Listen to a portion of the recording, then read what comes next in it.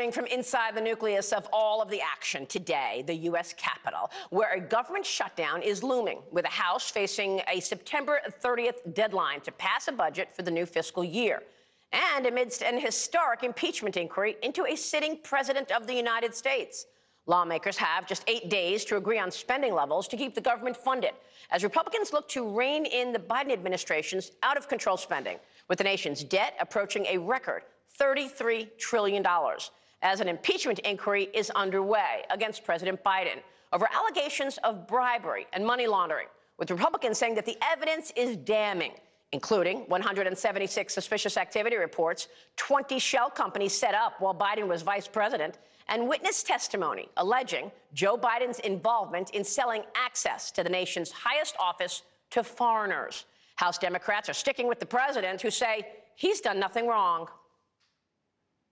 They haven't uncovered anything. I think the president and the White House has been fully cooperative. And again, I think they're just sticking around much as they did in Benghazi, trying to create diversions. I think there's something like 25 or 30 Republicans who are saying they don't agree with impeachment for obvious reasons. There's no high crime or misdemeanor. There's no tre- treason, no bribery. The Republicans uh, are engaging in a kind of an evidence-free, fact-free impeachment inquiry uh, that has nothing to do with high crimes and misdemeanors and has everything to do with Kevin McCarthy's weakness as a speaker. Joining me right now here in the Rayburn Room in the Capitol in this Sunday Morning Futures exclusive is the Speaker of the House, Congressman Kevin McCarthy. Speaker McCarthy, thanks very much for joining us and talking Thank with you, us this and morning. welcome to the Capitol. I think it's your first time you've had your show in the Capitol. Yes, we are happy to be here where all of the action is taking place. You just heard Adam Schiff call you weak as a speaker. Your response? Uh, it's so ironic. Here's a man who lied to the American public. I think we're showing the American public how we follow the Constitution. An impeachment inquiry is simply the ability that gives the Congress the strength to get the answers to the questions. Think about it. All this information we have now found, we never would have known had not the Republicans taken the majority. We now know the president lied to the American public that, yes, he did get involved with his son's business, that they did set up shell companies, that the FBI has an allegation from a whistleblower that the Bidens were bribed. We now have IRS agents that come forward and said the Biden administration, the DOJ, has treated his family different than others, let a statute of limitations run out. And then the whole question lies did he get involved with Burisma? And get a prosecutor fired in Ukraine um, under his work because of what his son was doing. Yeah. These are all allegations that we need answers to. And now we found out just recently that he used different names in emails, so you couldn't FOIA the email and get it, but now we have to have the ability to get that. So I think you see the American public, we're simply following the facts wherever it take us. But unfortunately, it looks like a culture of corruption with this family. Yeah, I, want to get back to this because I know that there's a lot of people out there who want to know if you are going to subpoena uh, Hunter Biden, Biden family members. So I'll get back to that in a moment. Let's talk about the meetings that you've been having all weekend over this September 30th deadline. What can you tell us in terms of a path forward? Do you have agreement on a path forward? I feel we made some good progress this weekend. You know, when Republicans took the majority, we wanted to change Washington. We make members show up for work, no more proxy voting, bills have to go through committee, no more these omnibuses where bills, the appropriation bills get jammed to us on Christmas time. But what we're trying to do is pass them individually. Unfortunately, I had a handful of members last week that literally the Republicans stopped the Department of Defense appropriations from coming forward. None of them can complain. This is giving our troops a pay raise, making our military strong uh, against China, getting the wokeism that the Democrats have put in out. And so I'm trying to get that to move forward, to stop, to um, make sure that the Republicans aren't stopping us from being able to get our work done before the 30th. So why don't you just bring the bill to the floor to see who would vote against funding the military? Well, we will do that this week. I, I gave them an opportunity this weekend uh, to try to work through this, and we'll bring it to the floor, win or lose, and show the American public who's for the Department of Defense, who's for our military, who's for giving them a pay raise and making sure we can take the wokeism out. Walk us through the issues uh, that you're feeling pushback from this handful of members on a continuing resolution. What do you want to see happen here? Well, I understand the frustration we have with this administration, but it's a difference of strategy. Some people say you should shut down, but think about this. I've been through shutdowns and I've never seen somebody win a shutdown. Because when you shut down, you give all your power to, to the administration.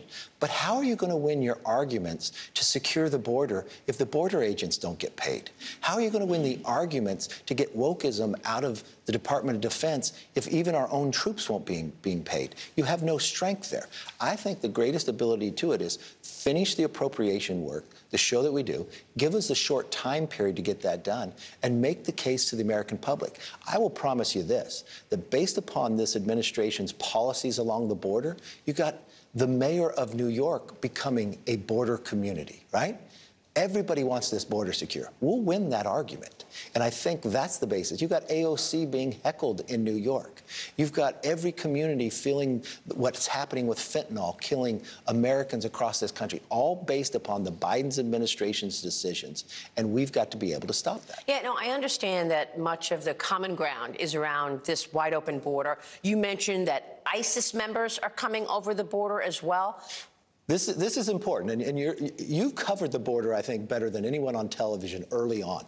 What we have now found out that somebody associated with ISIS has been hired to bring people across the border. You've watched now that the Biden administration, we caught more people in the month of February on the terrorist watch list than in the entire last four years under the last administration. So I have requested last Friday a full classified briefing for all members of Congress about what's happening on the border right now, but most importantly, what's happening with this individual that has ties to ISIS. This was so important that they got a, they had a classified briefing sent to all the cabinet members in the White House that we heard just last week. I think members of Congress need to know about this. Well, I mean, have you gotten a response from Alejandro Mayorkas, Joe Biden on, on ISIS members walking across into America? Well, they say they're tied to ISIS. So I don't know. I've read it in the CNN. That's why I want a classified mm-hmm. briefing for all members. We only have this happen on classified briefings a couple times a year on threats to America. I think this is one of our greatest threats to America right now. Well, look, I understand most people agree with that, that there's common ground on securing the border. But your members, many of your members, even beyond the most conservative,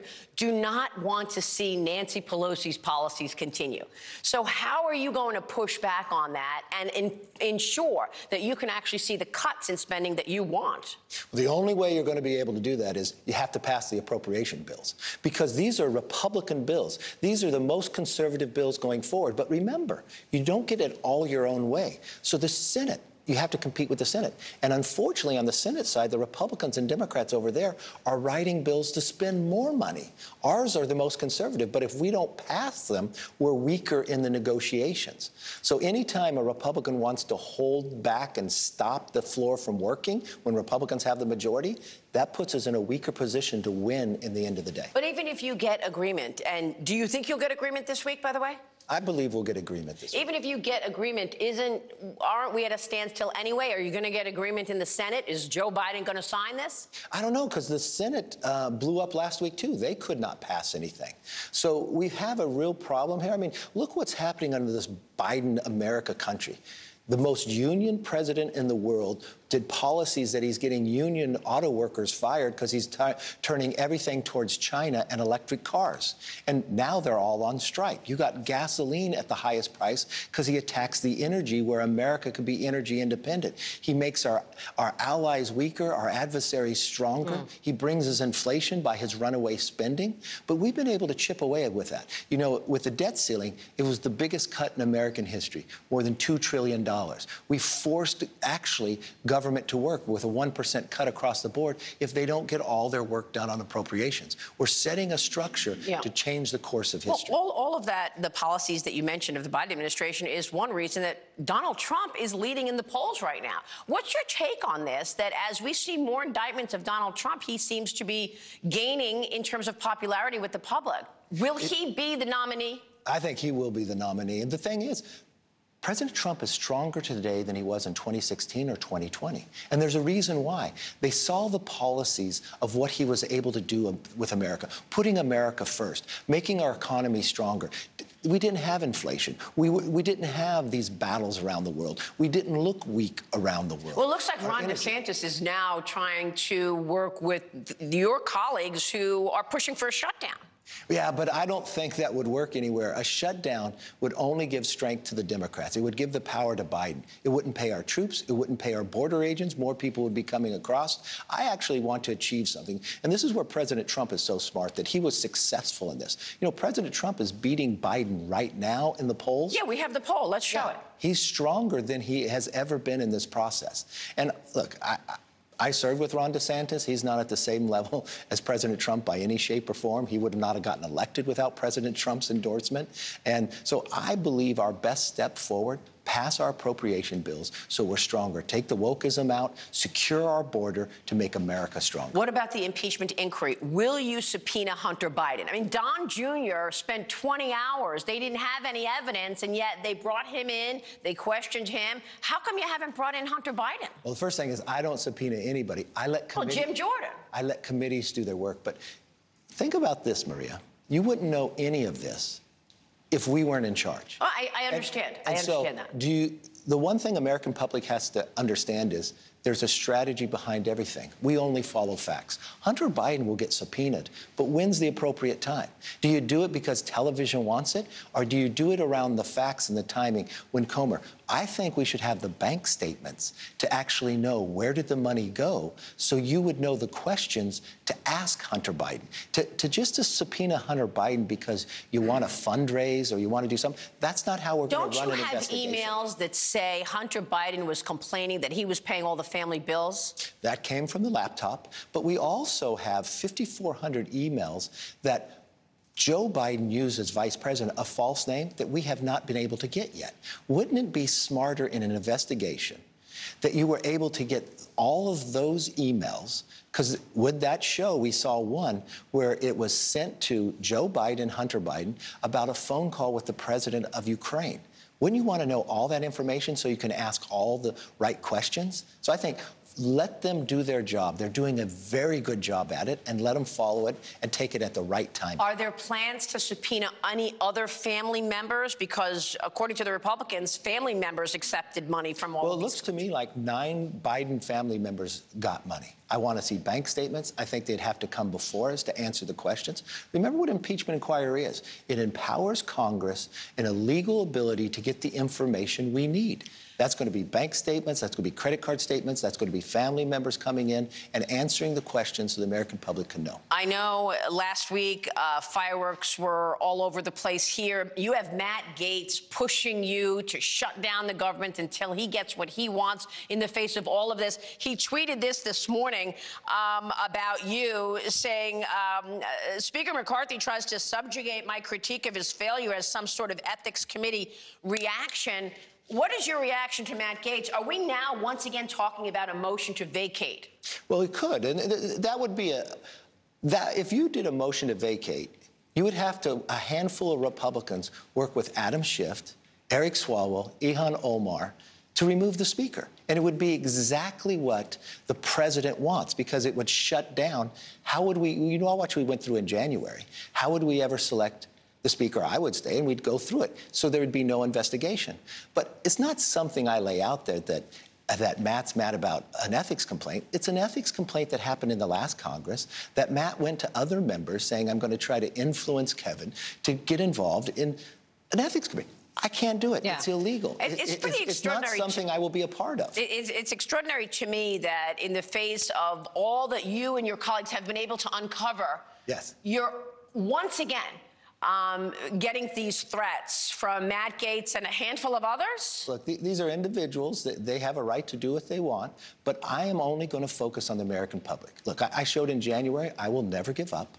We have made great progress here on changing this capital. And when you change Washington, you get enemies. I, I got Adam Schiff. I got Eric Swalwell upset because I kicked him off the Intel committee. You got Matt Gaetz working with uh, Swalwell to try to throw me out. That's all well and good, but I'm not going to be deterred from that. Yeah. I'm going to focus. We're going to secure our border. We're going to cut spending to end inflation. We're going to make America energy independent. We passed the Parents' Bill of Rights. We've been able to remove so many of the IRS agents. We're going after the next. We're going to make our military stronger and get this pay raise through, even if they want to vote against it. What's the likelihood of a shutdown?